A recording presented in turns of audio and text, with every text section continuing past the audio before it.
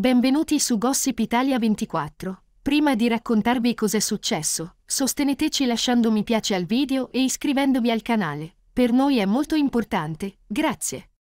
Antonio Pipitone, ex marito di Piera Maggio e padre non biologico di Denise Pipitone, sostiene di aver scoperto nuovi elementi mai analizzati prima riguardo la scomparsa della bambina, avvenuta a Mazzara del Vallo il 1 settembre 2004. Il 29 maggio, con l'assistenza del suo avvocato Luisa Calamia, Pipitone ha presentato un'istanza al Tribunale di Marsala per riaprire le indagini.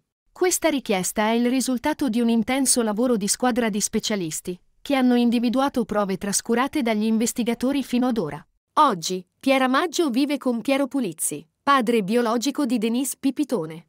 Nonostante la separazione, Antonio Pipitone continua a cercare la verità sulla figlia scomparsa, avvenuta mentre giocava con un cuginetto a pochi metri dalla casa della nonna. In un'intervista con Fanpage, la criminologa Antonella Delfino Pesce ha dichiarato Siamo molto fiduciosi per una futura riapertura del caso, poiché il team ha lavorato su elementi nuovi. Tuttavia, la criminologa ha avvertito che l'esito dell'istanza potrebbe richiedere dai 3 ai 6 mesi, basandosi sulla sua esperienza.